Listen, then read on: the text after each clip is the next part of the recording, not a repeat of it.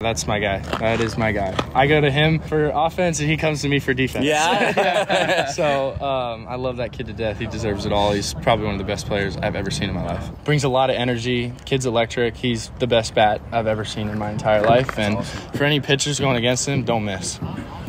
don't miss because it's going to go really far.